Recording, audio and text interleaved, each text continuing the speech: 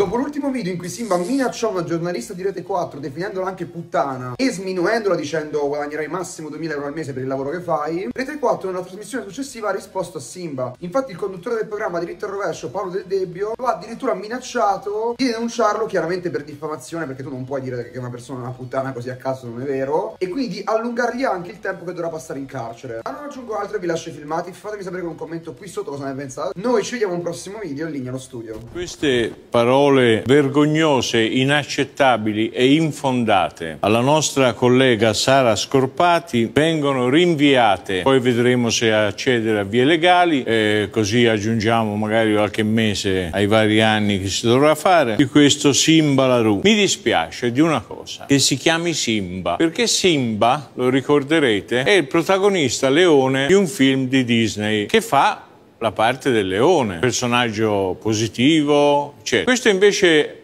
è un leoncino di pezza, di quelli che si comprano agli autogrill, che fa il leone contro una giornalista peraltro molto competente, molto capace e le dice anche ti daranno 2000 euro al mese, quindi offende tutte le persone che in Italia guadagnano meno di 2300, di, di 2000 euro. Cioè non hai neanche il senso di quello che dici. Hai offeso dicendo guadagni massimo 2000 euro, hai offeso 20 25 milioni di italiani che la mattina si alzano, con difficoltà tra l'altro alcuni, vanno al lavoro, non fanno tutte quelle stronzate che hai fatto tu, per il quale ti auguro di avere la pena giusta, e non si permettono di far cose di quelle che fai tu, si accontentano spesso di quel che hanno, magari rivendicano di più, ma stanno nella legalità. Li dovresti conoscere a uno a uno, perché forse, forse, eh, dubito, ma forse riuscirebbero a metterti in testa qualcosa di buono. Intanto non ti azzardare più, dire queste cose su una giornalista, perché la prossima volta ci vediamo in tribunale.